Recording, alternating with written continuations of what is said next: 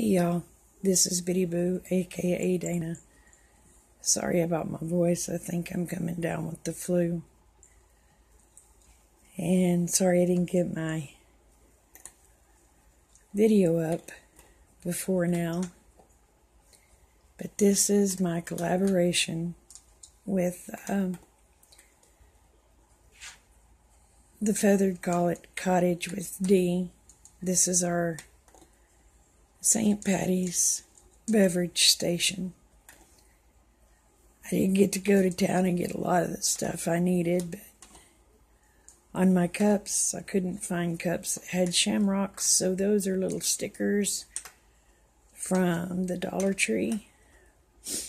Please forgive my walls. We're redoing the house. Uh, we have our coffee, we have our cocoa. There's my gold doubloons down at the bottom.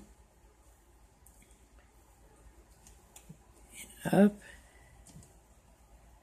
You'll see where the kids has their stuff for their hot cocoa. And the cat just decided to get up there. And the rules was to have a sign. Y'all, I missed one of my rules because I ain't got a sign. I didn't get it completed. But there's my pot of gold. I just took a uh, vase, or not a vase, but a Voda cup. I found at uh, Goodwill and loaded up my little gold doubloons in it. Go away, cat. Then I've got, of course, I've got shamrocks on my little hats. And then I have shamrocks on that hat. Have shamrocks on the tea towels. I found those flowers at Dollar General. And I, of course, I put a green boa up there. All right, y'all ready for the leprechaun? He came from Dollar Tree.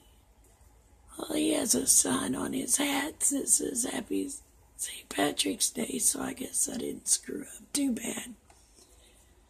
If you will, please go and watch all the other participants.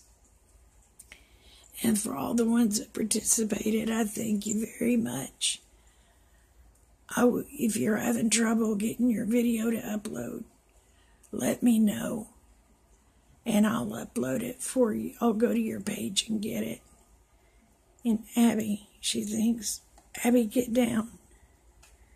Abby, get down. Abby.